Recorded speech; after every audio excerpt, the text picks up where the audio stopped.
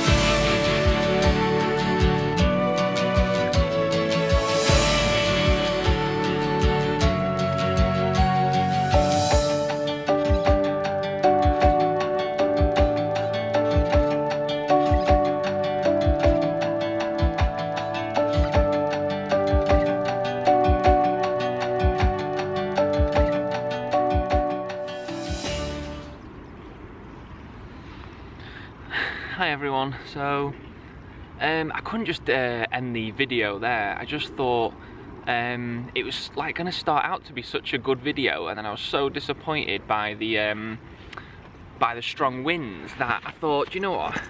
Instead of just ending it then, why not just um, do a little bit of a video, kind of close to where I live. It's nice and dry weather here. Uh, the wind, well, there isn't really any wind here. It seems really calm. So maybe I'll just do a little fly around like the field, the river, there's nice trees around here. Um, just capture a little bit of footage, show you a little bit of like the surroundings of where I live. Um, seeing as I've charged up the battery, I may as well use it up. Thanks again for watching. If you like this video, give me a thumbs up. And um, if you're new as well, please subscribe and make sure to hit the little bell icon to keep up to date with all future videos. Thanks, see ya.